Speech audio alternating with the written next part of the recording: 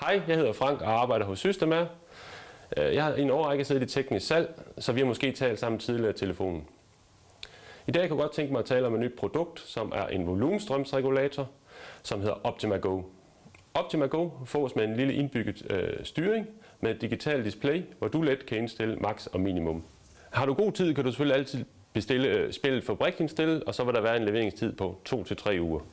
Ellers får du leveret det direkte fra vores lager i Danmark, og så indregulerer du selv max og minimum på spjældet ved, med hjælp af en skruetrækker. Kabinettet er fremstillet i galvaniseret plade, tæthedsklasse C, hvor spjældet har tæthedsklasse 4. Spjældet fås i størrelse 80-630. Øh, det kan fås som en lydisoleret version.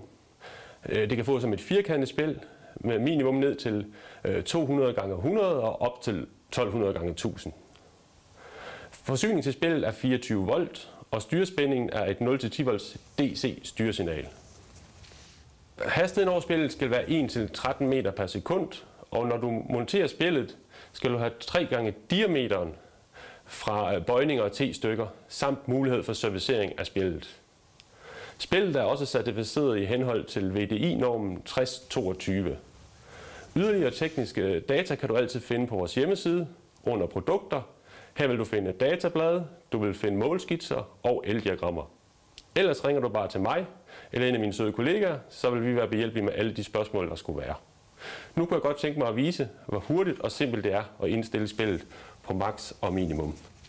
Det første jeg gør, er, at jeg flytter menu-skruen ned på maksimum, hvorefter jeg flytter skruetrækkeren op til indstillingsskruen, og vi siger, at vi indstiller på 800 kubikmeter i timen.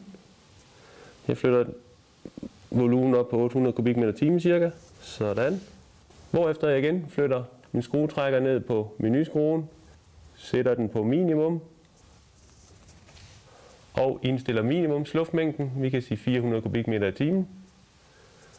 Jeg flytter den ned på 400 kubikmeter i timen. Sådan. Og spillet er klar til brug.